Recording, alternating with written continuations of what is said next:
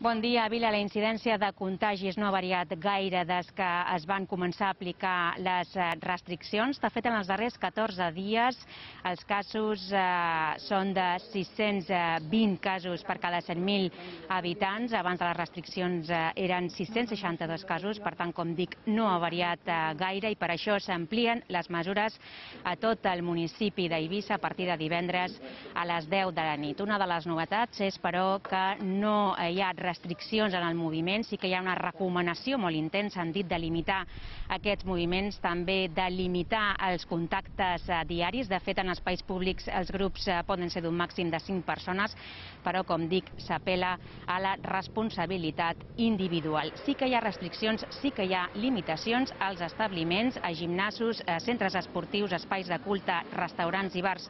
No es permetrà eh, una capacitat màxima del 25% al seu interior. La, la cabuda màxima al seu interior és d'un 25%. A la resta d'establiments eh, comercials aquesta cabuda màxima serà d'un 50%.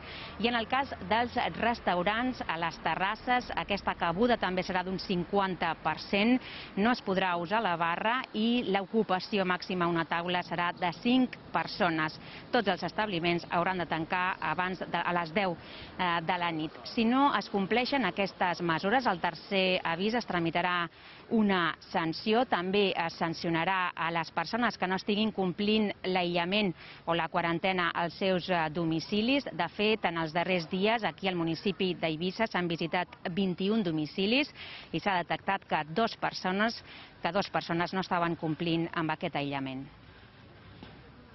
La part més important d'aquestes mesures no són unes restriccions de mobilitat, però sí que és una recomanació molt intensa de limitar tant com sigui possible els desplaçaments innecessaris i també els contactes personals i socials amb persones fora del nostre entorn de convivència habitual. De, de sensible no? veure pues, ciutats germanes com la Ciutadella de Menorca, no? on quan es fa PCRs voluntaris acudeix un 90% de la població cridada i a Eivissa o Sant Antoni acudeix, pues, no arriba a un 20%. No?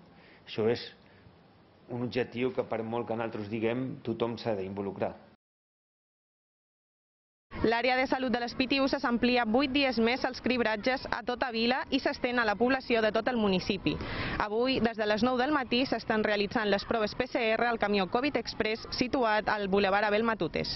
Continuarà en aquesta ubicació fins al divendres, quan es traslladarà primer al Parc de la Pau per fer les proves els dies 5, 6 i 7 d'octubre i a Vara de Rei els dies 8 i 9. La resposta per part de la població ha estat molt positiva.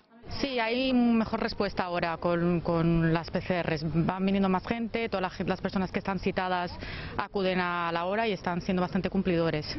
Entre les 9 i les 10 i mitja del matí ja havien passat unes 40 persones pel camió Covid Express i la previsió és d'un centenar en tot el dia d'avui. Entre els residents hi ha diversitat d'opinions. Si me la puc fer per assegurar la meva seguretat i la dels altres, bé.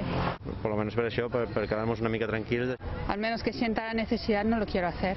Les mostres que es recullin s'enviaran a l'Hospital de Son Espaces, qui s'encarregarà d'analitzar-les per posteriorment notificar als interessats el resultat de la prova. En 48 horas me llaman, si doy positivo y si doy negativo me envían un mensaje.